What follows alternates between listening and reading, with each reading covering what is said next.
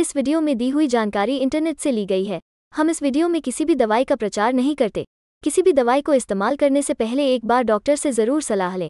अगर आप इस वीडियो को देखकर किसी दवा का उपयोग करते हैं और आपको कोई साइड इफ़ेक्ट होता है तो उसमें हमारी कोई ज़िम्मेदारी नहीं होगी। टैंड एजेड चालीस टैबलेट दवाओं से मिलकर बना है, जिसका इस्तेमाल हाइपरटेंशन यानी कि हाई ब्लड प्रेशर के इलाज में किया जाता है। यह रक्त वाहिकाओं को चौड़ा और आराम देता है। जिससे आपका रक्तचाप कम होता है और आपके दिल का काम का बोझ कम होता है। अपने रक्तचाप को नियंत्रित करने से भविष्य में होने वाली जटिलताओं से बचा जा सकता है। टैम्ड एजेड 40 टैबलेट भोजन के साथ या बिना भोजन किए लिया जा सकता है।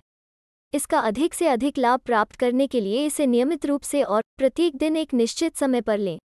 यदि आपकी कोई खुराक छूट गई है तो याद आते ही इसे ले लें। कभी भी कोई खुराक न छोड़ें और बेहतर महसूस होने पर भी उपचार का पूरा कोर्स पूरा करें।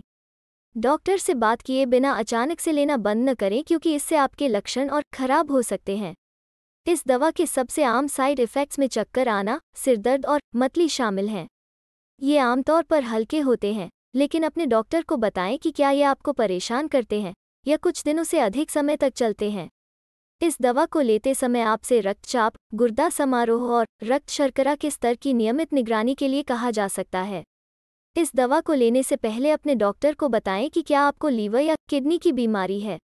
यदि आप गर्भवती हैं, गर्भावस्था की योजना बना रही हैं या स्तनपान करा रही हैं तो आपको अपने डॉक्टर को अवश्य बताना चाहिए। आपको अपनी स्वास्थ्य सेवा टीम को उन सभी अन्य दवाओं के बारे में भी बताना चाहिए जो आप ले रहे हैं, क्योंकि वे इस दवा से प्रभावित हो सकती हैं। या प्रभावित हो सकती हैं। वीडियो को पूरा देखने के लिए धन्यवाद। अगर आपको वीडियो अच्छी लगी हो तो वीडियो को लाइक करें और साथ ही हमारे चैनल को सब्सक्राइब करके नोटिफिकेशन बेल आइकॉन पर क्लिक करें और ऑल नोटिफिकेशन को क्लिक करें। धन्यवाद।